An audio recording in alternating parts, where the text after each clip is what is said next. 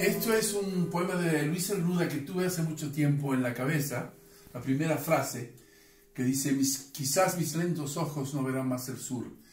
Y ahora que he tenido la ocasión de conocer a José Cárdenas en, persona y a su esposa, entonces ahí te va, lo voy a grabar especialmente para vosotros.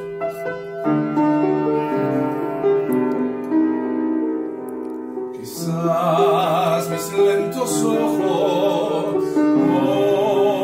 más el sur, de ligeros paisajes dormidos en el aire, con cuerpos a la sombra.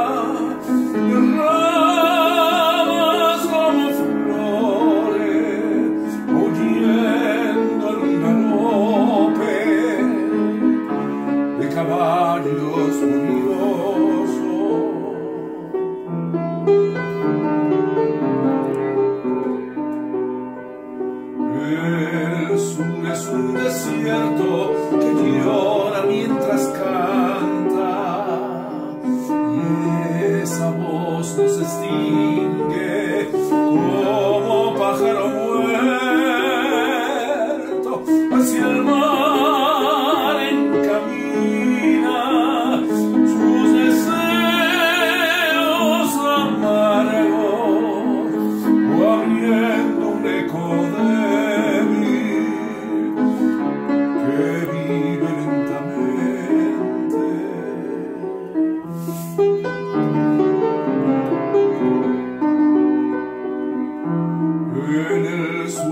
distante